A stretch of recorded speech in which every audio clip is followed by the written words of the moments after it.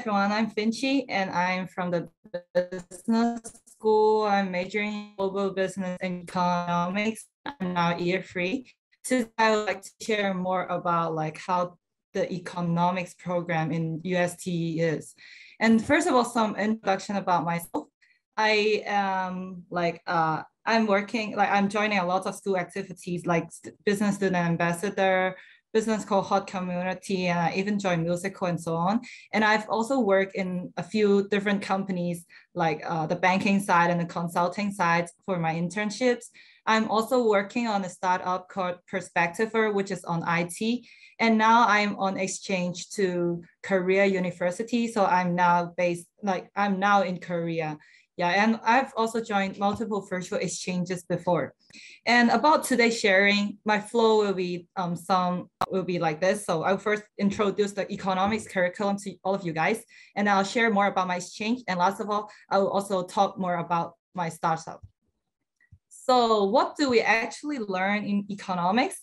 Here I listed four, four um, requirement courses of the economics curriculum.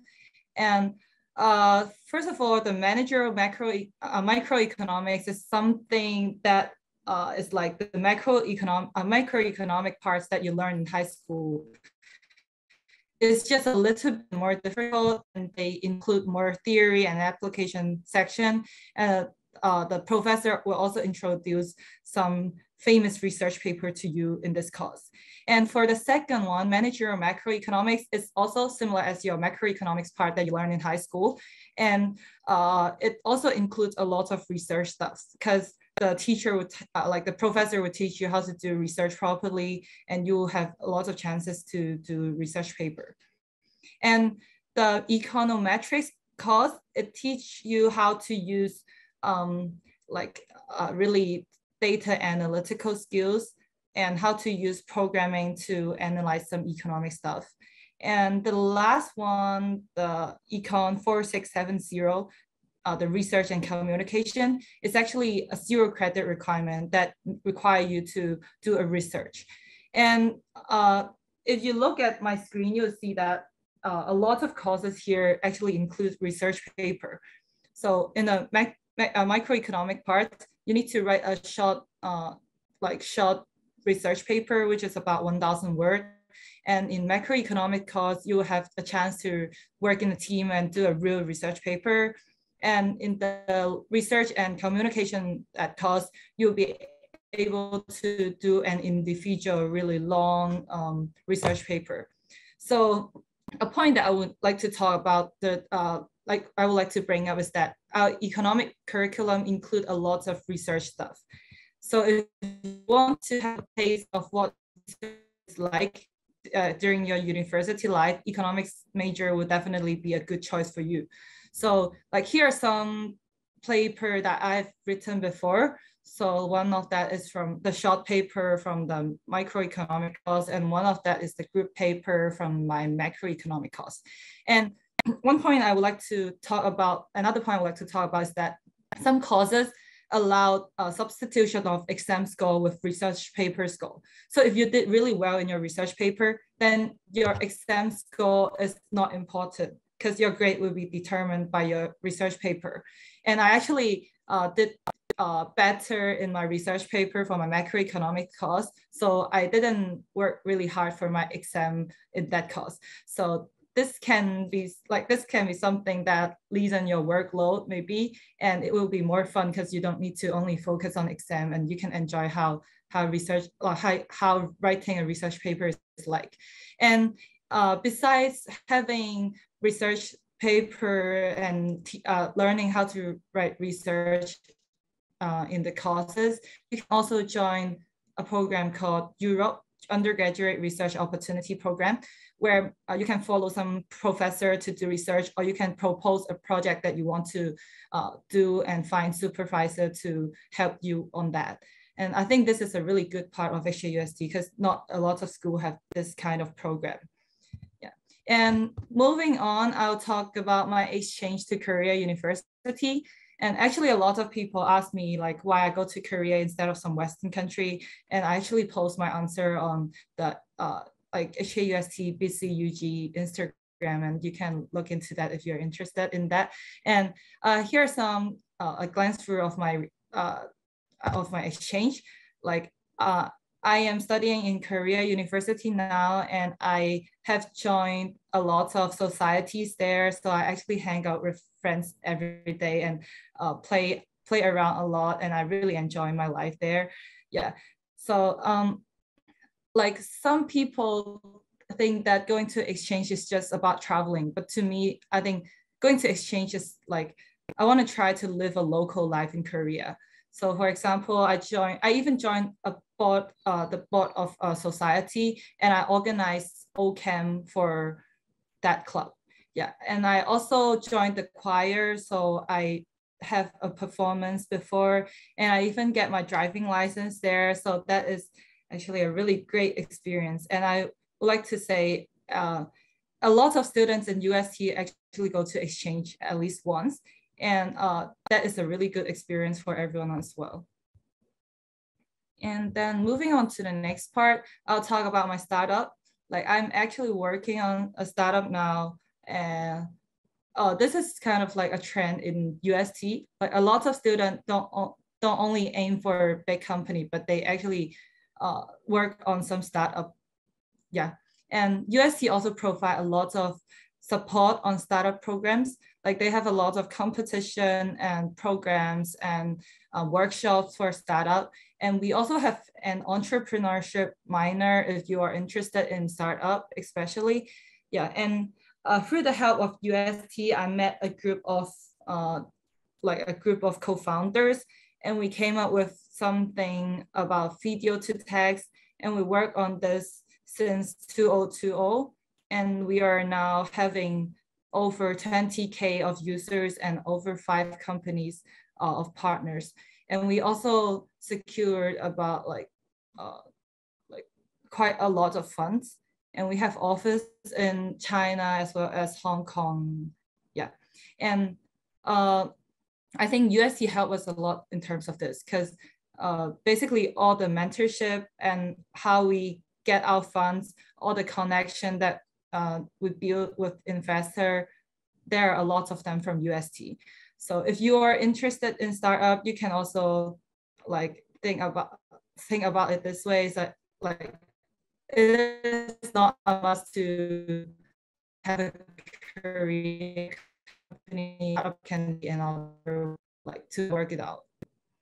And uh, so my sharing will be till here. And if you have anything that you want to ask me about, then you can go to my Instagram and DM me, or you can also go to the HKUST BCUG Instagram.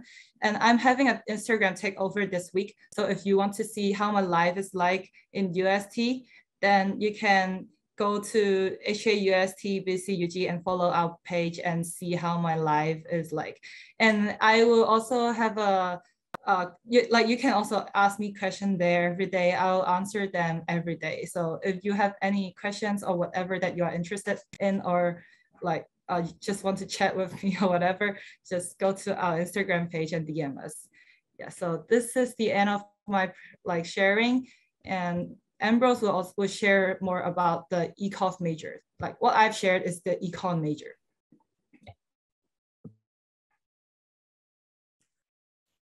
Right.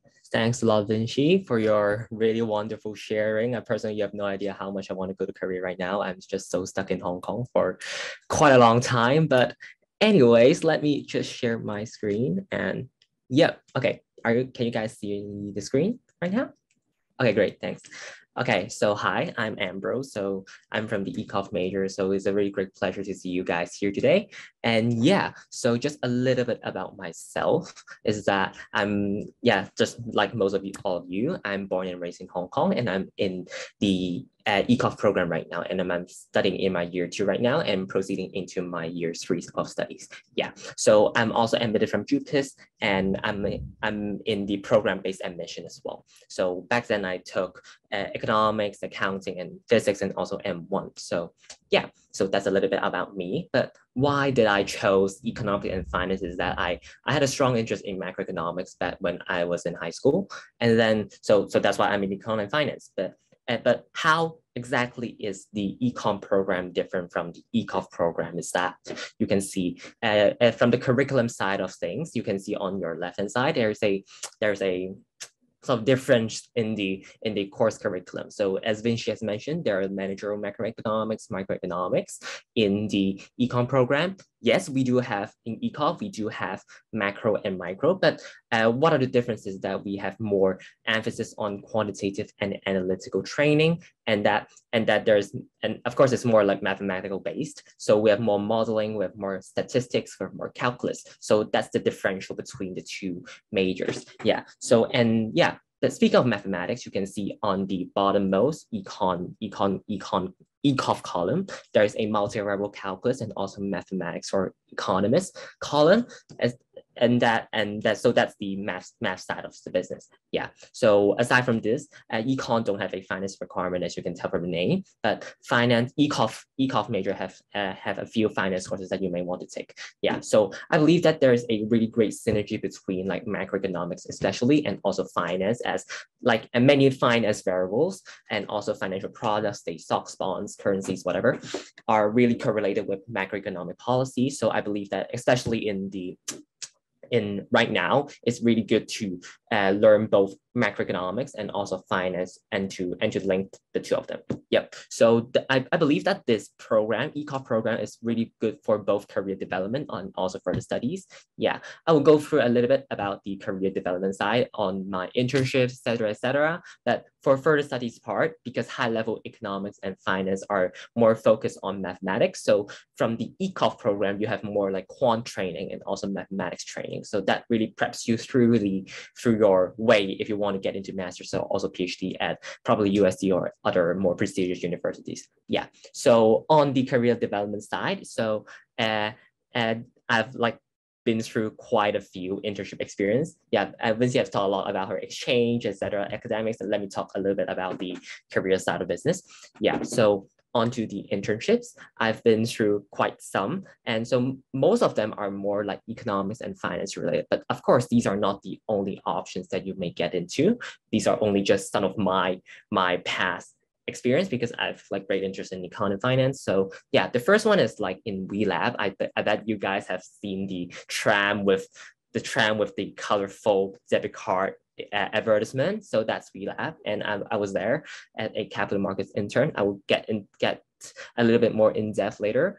But yeah, onto my second experience is Prive Technologies. What's that? Is that uh, we provide and we provide services to different private banks. So what are private banks? Is that they help like rich clients to manage their money. So you know, rich people have lots of money. They want to invest in different stuff, say bonds, stocks, and they also need to plan on different stages of their life. So probably you want some tax planning, you want some estate planning, you want some insurance protection. So private banks help these companies, help these like rich people to manage their assets and also wealth.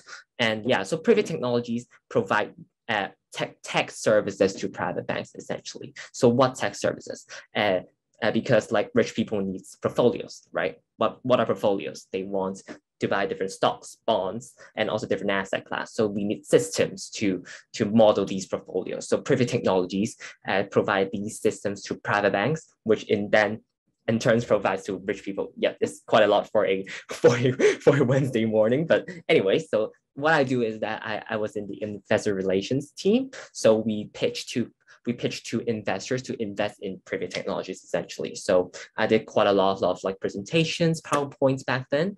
And yeah, it was a really great experience because I need to learn about the product itself. And I also need to have like great PowerPoint skills as a junior. So that's that probably coincides with my major as well. Yep. So moving on to the spring, uh, this year I've been with Asian Capital uh, as a corporate finance intern. What is that? Is that uh, we and we help companies do different kind of businesses. So for example, when companies want to go on IPO, we help them raise money. Probably companies want to get money, we help them get money uh, from debt and also uh, on onto more later stages of the company development, uh, they probably companies want to have mergers and acquisitions. So for example, uh, HSBC wants to buy another smaller company or probably another larger company wants to buy HSBC, something like that. So that those are called mergers and acquisitions. Essentially, they're buying other companies. Yeah. So uh, yeah, so I'm I was there to help the company to do all these initiatives. But of course, as a junior intern, I'm I, I just do some basic modeling work and a little bit of the admin administrative work back then. But it was a really great experience because I need to have lots of uh, sort of finance knowledge back uh, uh, when I get into the job. Yeah. So like looking forward into summer 2022, I will be going into like UBS, which is a private bank, which is one of the largest private banks in home in, in the world. Yeah. So what is private bank I've just mentioned is that we just serve rich clients. Yeah. So that was the whole experience. And yeah, by the way, just a just a straight, just a side note, yeah, I was having a virtual exchange as well, like Vinnci, uh, in in Tsinghua University this semester, uh, and covering game theory that the the the the field that Wu Yang has covered. Yeah, so I will be having an examination later, but yeah, and yeah, just let me tell you guys what is WeLab and how does it like really correlate with economics and finance program. Yep. And back then when I was in WeLab, I was in capital markets. So essentially WeLab provides loans to like different consumers. So for example, you as a consumer wants to get loans from us. So you come to find us, oh, probably I want to borrow 1 million.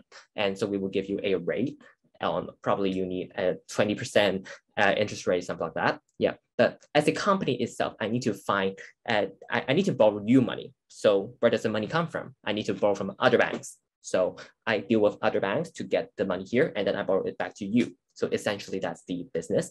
And yeah, but uh, when we borrow money from other banks, we need to look at different macroeconomic variables because that affects our interest rate. So how much I need to pay interest to the banks itself. So you can see from the right hand right hand picture is that I need to look at like different uh, rates, inflation rates, uh, treasury yields, to which in fact determines our rate of borrowing and also the interest rate. So at the macroeconomics uh, macroeconomics background that I had in UST and the ECOF program really helps me a lot when I get into the job, but because the job is like quite quant and quite macroeconomics related. So I would say that I've really actively applied the macroeconomic concept that I've learned in class, which is a really good thing. And or else I will be like totally lost when I get into the job. Yeah right. So that's the that's I've, I've talked a lot about the uh, career side and internship side but yeah of course these are just only some examples of internships. You can also get into different different different fields like like as Mitch said entrepreneurship or maybe some of my classmates got into consulting etc etc so yeah you've got plenty of fields but this is just one of the more econ and finance related uh, thingies. Yep Right. Of course, um, as a student, I've got like plenty of other stuff to do as well. And I've been to, I've been a master of ceremony of HSBC, and I've also added different financial modeling for investment groups. So for example, I've covered real estate and yeah, so what is modeling is that I just give a price to a company is and but how I just project, for example, I project the revenues and I also say, oh, probably I think the company is worth uh, 2 billion or so, and I will justify why it is, it is so. Yeah. And aside from that, I've, I've also joined different like ECAs such as the HKUST Business Cohort Community, which is under UST Business School. And yeah, I've, I really had a great time with them. We organized different events for business school students. And yeah, it was a, we were having our bi-weekly meeting in the, in the photo photo below. Yeah, and finally, of course, I will spare some time to wine and dine and chill with my friends. And yeah, I really like enjoying good food and good scenery, good interior design, etc., etc. Yeah, and finally, often I got a question that how do I manage all of these hardcore stuff? Is that I use two two thingies, Google Calendar and also my Moleskine, which is a notebook. So I put put down essentially everything inside so that I can organize better my life and also see what I would need to do and and predict the time required more efficiently. Yeah, so on left is like an average week of mine. So yeah, so basically that's it. So that's all for my sharing. So feel free to contact me at Instagram, LinkedIn, whatever, WhatsApp. So yeah, hope you to see you guys in UST Business School. And yeah, just, just feel free to find me if you have any things that you want to know. Yeah, so thanks all.